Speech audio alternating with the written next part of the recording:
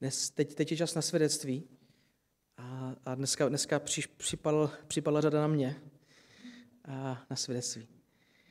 Hmm, tak a, jsem si uvědomil, že jsem, že jsem dlouho už vlastně neříkal svědectví. Bylo, bylo období, kdy jsem ho říkal neustále, když jsem, když jsem vyrůstal ve svém křesťanském životě na World of Life a tak dále. To jsme uměli jak když Bíče Mrská, myslím, že velmi dobře. Tedy, že, ne, že velmi dobře jsme to uměli, ale že nás, že nás to tam dobře naučili, protože to je eh, důležité.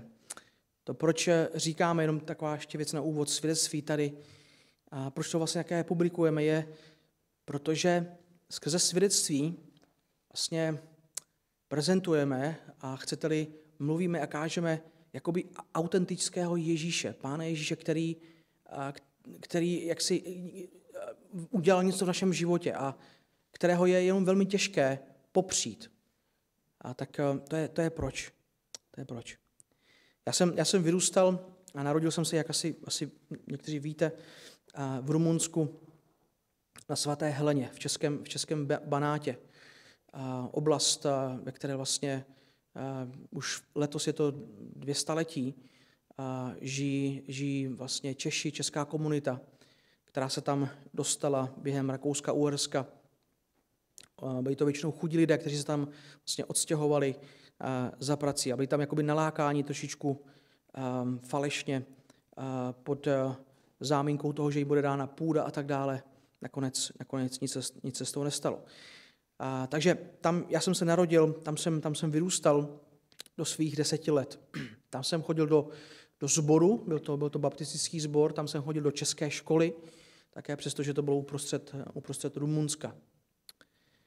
A když mi bylo tady 10 let, tak jsme se, tak jsme se s rodiči odstěhovali do tehdejšího ještě Československa, protože to bylo v roce 1991. A pro mě to byl naprosto nový svět. Děcka se, naše děcka se ještě do dneška baví tím, co všechno jsem neznal ve svých deseti letech a co všechno jsem začínal poznávat eh, ve svých deseti letech. Od eh, jídla, ovocí až po, po, po stroje a, a, a tak dále. Zvyky a podobně, jazyk také. A, tak pamatuju se na to období velmi, velmi dobře. Bylo nám dobře, naši rodiče se o nás, o nás starali a snažili se, snažili se všemožně, aby nám, aby nám bylo dobře. A to, to myslím upřímně, jak, dobře jak materiálně, tak, tak i duchovně. A naštěvovali jsme v Lovosicích, kam jsme se přestěhovali na sever Čech, a tamní baptistický, baptistický sbor, kde už jsme měli mnoho známých, a vlastně přistěhovalců z Rumunska, kteří tam přišli buď, buď prostě v 60. letech nebo, nebo hned po válce. Celý chebský sbor vlastně v 50. letech vznikl pouze a jenom z přistěhovalců právě ze svaté Heleny z Rumunska. Ale my jsme, my jsme chodili do, do Lovosica, tam já jsem, tam já jsem vyrůstal a tam, tam vlastně jsem také dělal svoje první duchovní kroky. Byl jsem, byl jsem dítě neposlušné, zlé, a mimořádně hříšné, eh, si myslím opravdu. Nebylo to, nebylo to se mnou, myslím si, jednoduché a s mým, s mým bráchou. Rodiče, rodiče měli velký kus práce s námi a babičky hodně modliteb eh, investovali. A ten náš život skutečně nesměřoval, přestože jsme vyrůstali v křesťanském prostředí a jakoby navenek jsme, jsme byli dobří, dobří kluci, tak ten, ten náš život nesměřoval moc, eh, moc dobrým směrem. A nechci to svádět na okolnosti, nechci to svádět na nic, na nikoho, ale dost, dost možná to také mohlo být prostředím právě, ve kterém jsme vyrůstali. Velmi, velmi já bych řekl z, dnešního, z mého pohledu dneska, a velmi liberálním a místem, kde, kde nebyla žádná vykazatelnost, kde nebyla žádná, kde to bylo občas právě povrchní, a, kde, kde nebylo kázané evangelium v takové podobě, která, která by mluvila jaksi ke mně, kde bych si uvědomil, že jsem hříšník a potřebuji Krista. Um, nikdy jsem nespochybňoval ve svém, dos, ve svém dospívání jako si boží existenci, Boha jako takového. To, eh, to bylo zcela jakoby normální. Prostě to bylo normální, že se chodilo v neděli do kostela, do sboru, bylo normální, že se sloužilo, bylo normální, že se žilo v kontextu toho, toho společenství. Takže to mi nikdy problém nedělalo, ale žili jsme takové dva životy, prostě, tedy aspoň já v tom svém dospívání jeden v tom sboru, a kde jsem, kde jsem hrál. Někdy jsem to teda nezvládal, to křesťanské dítě, ale potom tam byla ta škola a ten život, eh, život prostě v tom běžném světě. Takhle to šlo a ze vším, co si k tomu, ze vším, co si k tomu v tom mladickém dospívání dokážete, dokážete um, přimyslet a představit. Ze vším.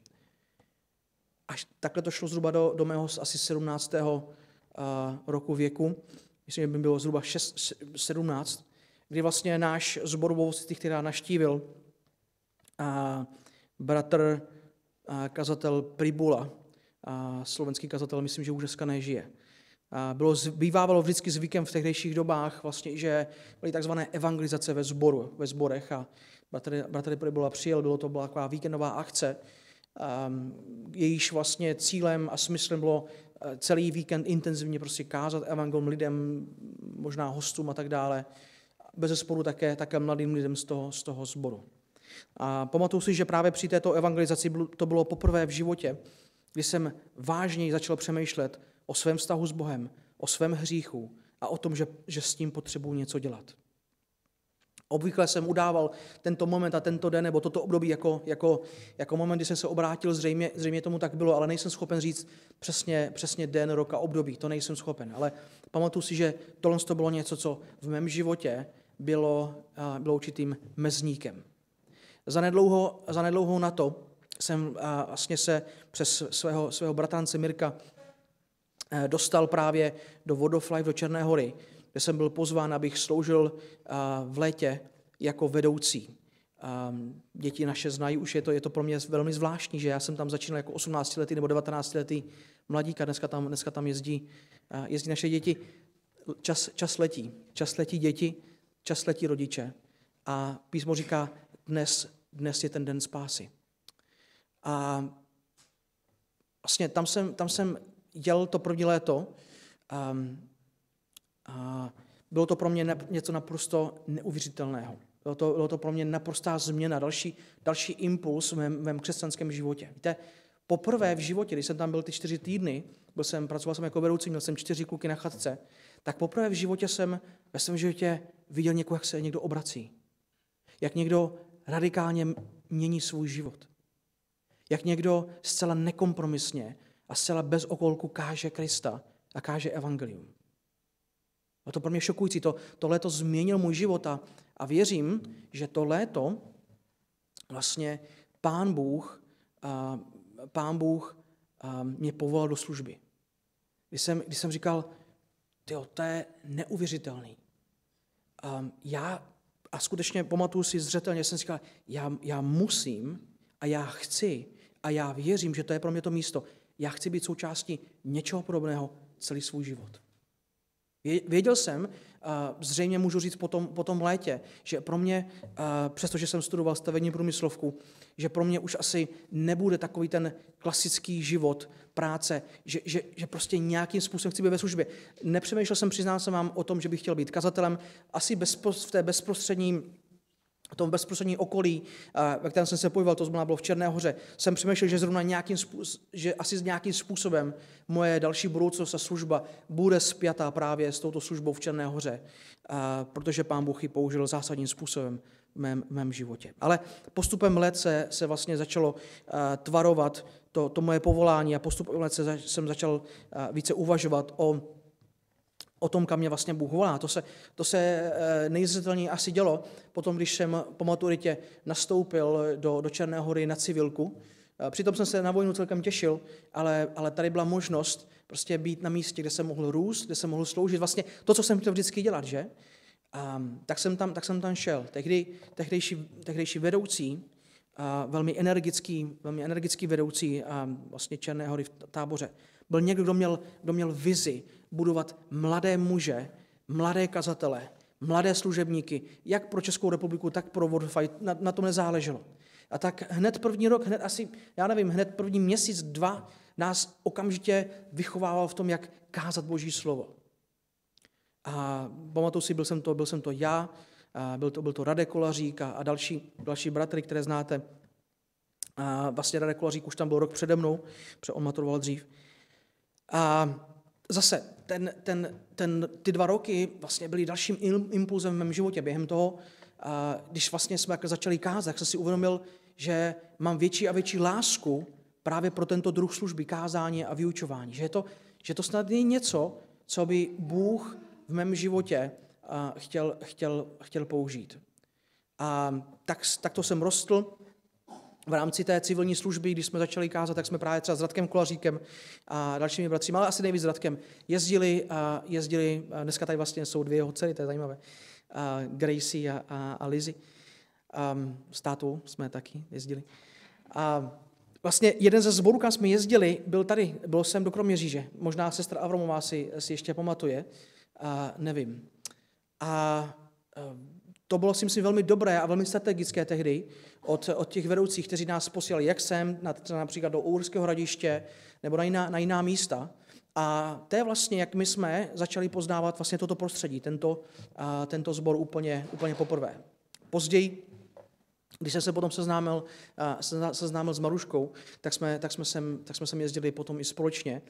A, a já pamatuju si a jednu neděli, když jsme tu byli, tak Barte Bednář, kterého kterého vlastně nikdo z vás už neznáte, kromě, kromě Lídy, tak eh, mě poprosil, protože se blížil ten můj konec té civilky a zároveň vlastně se, jsem studoval v Bánské Bystrici na, na, na, biblické, na biblické škole, tak eh, se blížil ten můj konec a on, on mi říká, Láďa Bednář, hele, nechtěl by si přemýšlet o službě tady v Kroměříži.